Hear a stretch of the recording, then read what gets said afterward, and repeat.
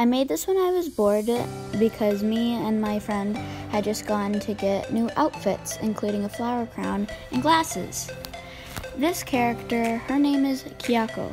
She's a character I made for an anime called Naruto. This is one of the most favorite pieces I've ever made. It's based off of a Japanese street fashion called Harajuku. This is a picture of my friend Isabella. It took me a few tries to get it right, but it came out really nice, and she loves it. This is like a hospital girl. Sometimes I get bored and want to put a lot of emotion into my pictures, so this is what came out of it.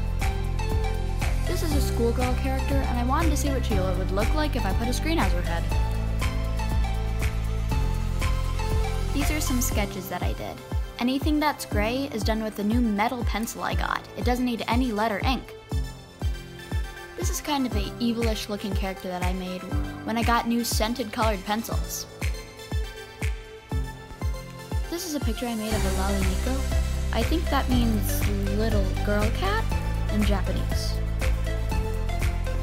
These are two different characters. The one on the left has cherry and blueberry smelling eyes, and the one on the right smells like black licorice.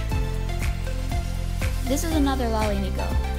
The first one, my friend gave me the idea, so this time I thought I'd try it on my own. These are two pirate characters. The taller, more finished one is the mother, and the shorter, unfinished one is her son. This is me. I like to wear a super loose hoodie and a koala hat with only one ear?